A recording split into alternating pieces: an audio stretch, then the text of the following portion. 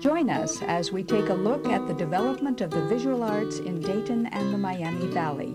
Meet the people and the organizations who created this diverse and thriving visual arts community with their passion and a vision for art.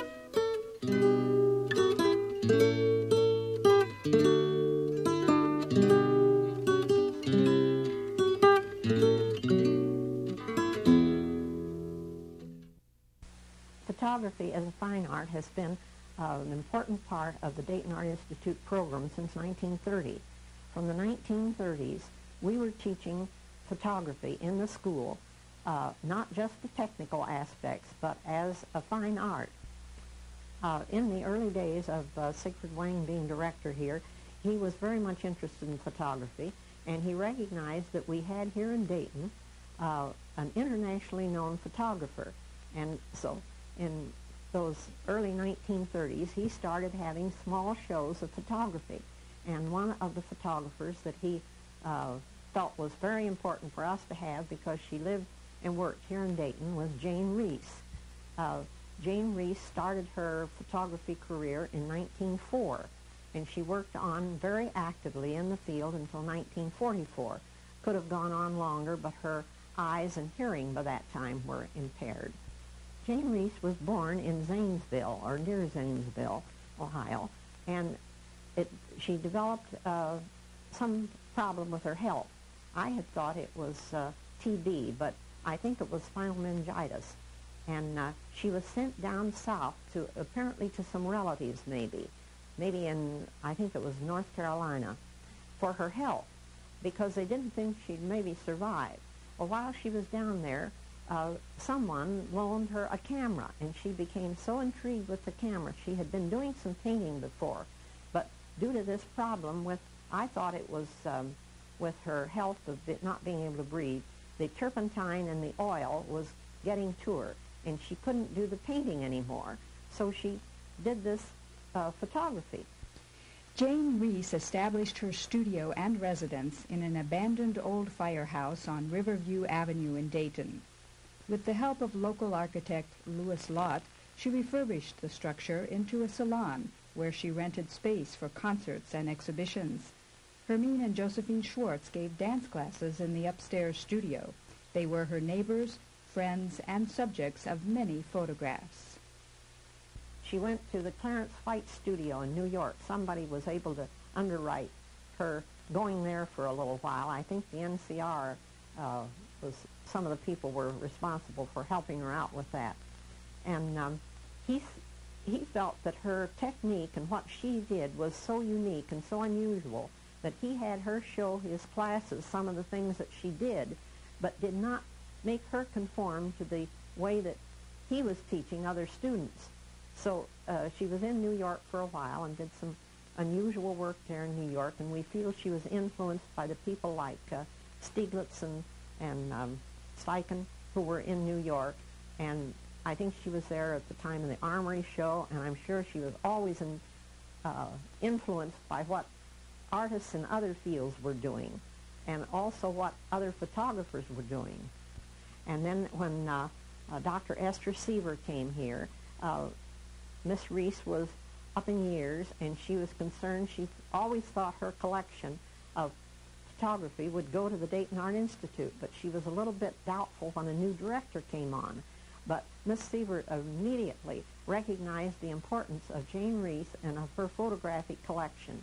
So in 1952, uh, she assigned me to go over to Jane Reese's studio every morning during the summer to work with Jane Reese to get her collection of photography of photographs together.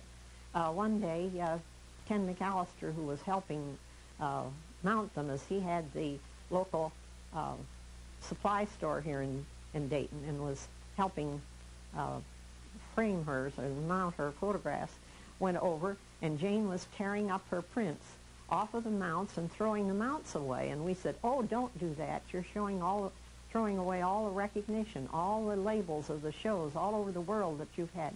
Oh, well, she knew which ones they were in but we were able to retrieve them and add, add those to the uh, information that we have on Jane Reese. In 1952, Miss Reese gave 390 salon prints to the Dayton Art Institute. Many of the prints had been frequently exhibited and had received numerous awards. 99 of the prints were autographed portraits, and many were of famous personalities. An exhibit titled The Camera, the Paper, and I was mounted by the Art Institute to mark the event. But Dayton's world-famous photographer may be best remembered in this quote by her friend Catherine Pinkney.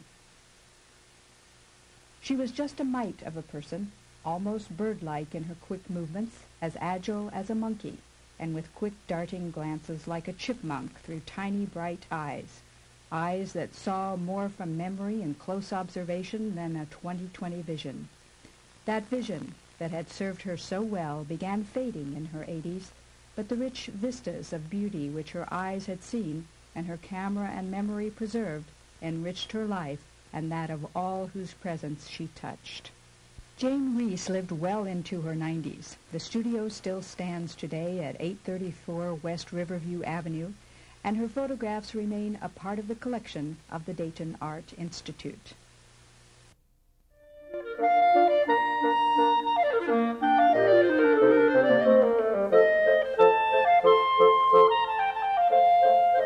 The city of Dayton was founded in 1796 in a valley where five rivers converge.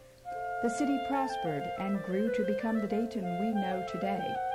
As the city grew, its look, its character, its visual art became defined by its architecture and those who created it. I think the period that I would define as the beginning of Dayton's golden age for the uh, building and planning arts really began in the last part of the 1880s. Um, and this was primarily a result of, uh, of, a growth spurt for Dayton and um, our feeding into the expanding markets in the West and being a feeder market uh, into Chicago and a couple of things going on in the construction arts field. One was the development of elevator technology and steel and construction technology um, that really started Dayton's golden age of skyscraper buildings. Um, that continued on uh, into the 1920s. Um, there are a couple of things that you really have to consider when you're thinking about this period of time too, uh, because there were a number of national trends having to do with design, arts, and architecture and building. Uh, but what makes it really interesting locally for Dayton was matching this up with architects and developers. And there's um, one interesting thing that I think we can pick out here that uh, started on South Ludlow Street and actually started in 1908. And it was the teaming up of Albert Pretzinger, uh, who I would categorize as being one of uh, the most important top two or three architects uh, in Dayton at that time with a local real estate developer by the name of Adam Schantz. And uh, Adam had begun to do uh, some building projects on South Ludlow Street, the first one being the commercial building at the northeast corner of 4th and Ludlow, which today is actually part of the arcade complex. And um, these two these two men got together, and Adam Schantz was an eternal optimist, and that's going to be important to remember through all of this. Um, but they decided they were going to uh, sort of reflect their optimism in design with Beaux Arts architecture, so to speak. And uh, there was quite a bit of Beaux Arts architecture, and it was really uh, a carryover from the World's Columbian Exposition in Chicago, which took place in the very early 1900s. And um, the Beaux Arts movement was really given uh, life at that exposition, and it was very ornate uh, architecture. And in our town, uh, these two gentlemen teamed together and um, expressed it through a lot of ornate terracotta, uh, terracotta type detail. Um, there are a couple other interesting things, not only uh, that were going on at that same time, and Dayton also being the a manufacturing center and a place where a lot of invention and innovation was occurring. Uh, there was what I consider to be uh, very interesting uh, developments with industrial architecture. Uh, and some people might even say this is modern architecture because it was not ornamentation. It was really machine age architecture. And we had some uh, really wonderful examples, being the entire NCR complex, uh, most of which does not exist today, but that was all designed by Frank Andrews, who also designed uh, the American building, which still stands today at the corner of 3rd and Main Street. And the Beaver Power building, which is a bare bones concrete frame building with industrial uh, type steel sash windows with some um, uh, what I would call almost Art Deco ornamentation cast into the concrete up uh, on the cornice that had been constructed at the northwest corner of um, 4th and St. Clair Streets. There was great civic optimism in Dayton after the 1913 flood. In general, the 1920s brought with it a period of great optimism throughout the entire country. Great success in business created great wealth. People felt a personal responsibility to give back to the community some of the wealth they had gained. This was expressed in the engineering arts, with the building of beautiful bridges throughout the city, causing some to call Dayton the Venice of the United States. In the building arts, civic buildings such as the Dayton Art Institute were constructed.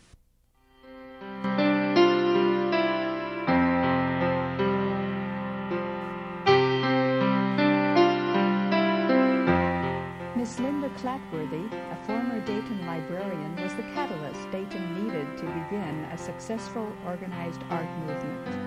In 1912, she helped form the Montgomery County Art Association, which flourished holding exhibitions at Memorial Hall, Reich Store, and the Delco Building. By 1917, the name was changed to the Dayton Art Association, and its first painting was purchased. It was at this time Mrs. Julia Shaw Carnell became interested in the activities and aspirations of the art group. Well, Mrs. Carnell uh, was interested in the development of an art Association in Dayton for a long time, along with a number of other distinguished citizens. Orville Wright, for example, Mr. Kettering, and Miss, the Stoddards and others. But uh, her own background was one that uh, perhaps is associated with her first husband, uh, who was one of the two Patterson brothers, uh, whose names are associated with National Cash Register. You see, you had John Patterson, who was the great promoter and uh, so forth.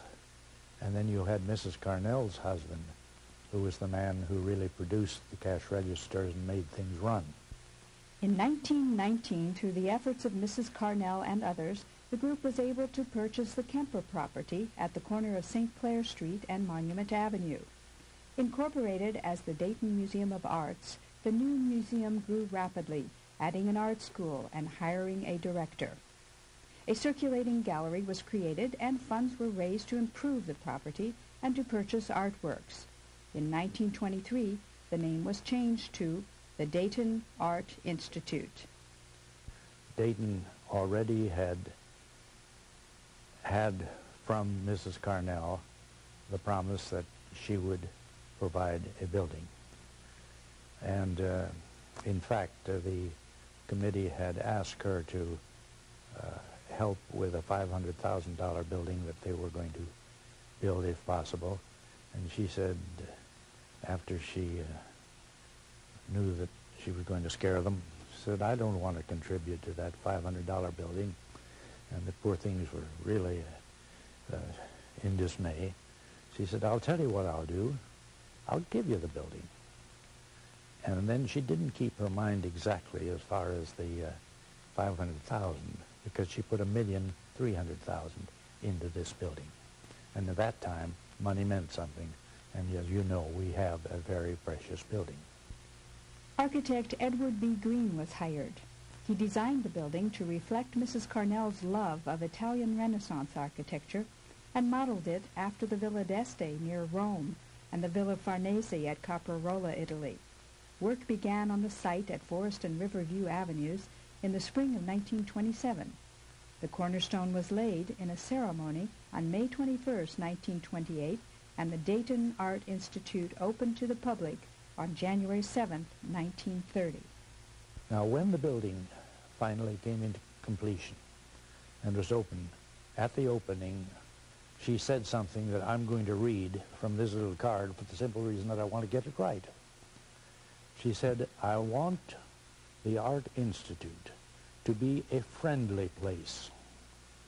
I want you to come again and again.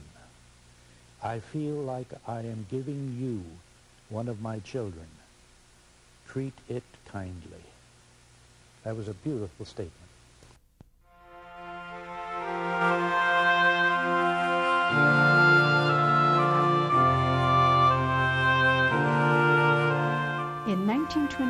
Siegfried R. Weng was hired as director of the museum. As a graduate of the University of Chicago and a student of the Art Institute of Chicago, he had assisted the sculptor Lorado Taft. He was only 24 years old when he arrived in Dayton during the construction of the new building. In a history of the Dayton Art Institute, Catherine Pinkney wrote, Any hour of the day and some of the night, his six-foot frame could be seen dashing about the incompleted building, striding over paint buckets, scaling the unfinished stairs, ducking under scaffolding, to plan where this sculpture or that painting would show off most advantageously, meeting and joking with workmen, conferring with decorators and board members. He brought to his work an illimitable enthusiasm and vitality which has not diminished in his many years as director. Now, Mrs. Carnell had made it clear that she was not interested in just having a row of pictures around. She wanted it to be a vital thing. And as a result, any anything that could happen that would add to that vitality was very important. Although when Mrs. Carnell gave us this building, there was practically nothing of terrible importance in the collection here. There were a few things. Um, she had purchased a nice little fountain figure, Farnsworth. And the there were a few paintings of charm. Otherwise, it was material that was being loaned. Uh, Mr. Thresher had invented, one of the trustees, you see, had invented the idea of a circulating gallery where we borrowed paintings from dealers and from artists, and we'd loan those out to any member who had a $10 or more membership, and they could keep them a month and then bring them back and so forth. And we had interesting experiences with that. That was a very popular thing. And many of the schools used the, the circulating gallery. During Mr. Weng's term as director, the Art Institute was known as Dayton's Friendly Living Room. This term was coined by a visiting French archaeologist, and it suited Mr. Weng's desire to humanize the museum. One popular feature which he started was a small animal zoo on the museum grounds. It began with the gift of two Indian blue peacocks and grew to include cranes, antelope, and two miniature donkeys named Coke and Cola. It was not unusual to find a thousand people at the museum on a Sunday afternoon enjoying the art and also the animals. The Carnegie Corporation had been willing to give us what was then the best equipment for getting good classical music and given us 1,500 uh, records to work with and break eventually, of course. Today that equipment would be very sad, but at that time it was the best. And it was surprising how many people enjoyed that. One time I remember walking into the gallery and seeing a whole group of students sitting on the floor listening to classical music. And I remember one of the dowagers of the town uh, happened to be with me, and she looked and said, is that dignified for the students to be sitting on the floor listening to that music? And I said, I am grateful to see those students in any condition if they are getting something from the music that we are providing. And another time, I remember coming into the building and seeing two of the uh, flyers from Wright Patterson Field sitting in two of the comfortable chairs that Mrs. Carnell had provided, listening to the same type of thing, listening to the music. They could choose their own records, you see, and play them. That worked out very nicely. The Dayton Art Institute became a cultural focal point for the arts in Dayton. In June 1933, the Dayton Philharmonic Orchestra gave its first concert in the auditorium of the Institute. The Dayton Civic Theater was organized and housed on the museum grounds in buildings that no longer exist today. One, one of the ventures that, that we were especially happy with was establishing a modern room. By that we meant here was a room where if Mrs. Glutz came and didn't like what she was seeing because it was too modern, she would still be reconciled to it being there because we have said from the start, these are the men who are doing experimental work and important work in America today, and we are delighted to be showing them. I consider perhaps a very high point in, in our whole exhibition program was being able to bring to this museum the famous Whistler's Mother picture that is so adored by young and old when they go to the Louvre and see it there. It had been loaned to uh, the World's Fair, Chicago, and it had to go back. And so we got in touch with the proper French people, and at first they weren't too enthusiastic about letting come to a little town like this. But um, they, they were very cooperative just the same. And eventually they said, if you insure the painting for a million dollars when it's here and have an um, armed guard, we will let you borrow it for a month's time. So we did it. We got it.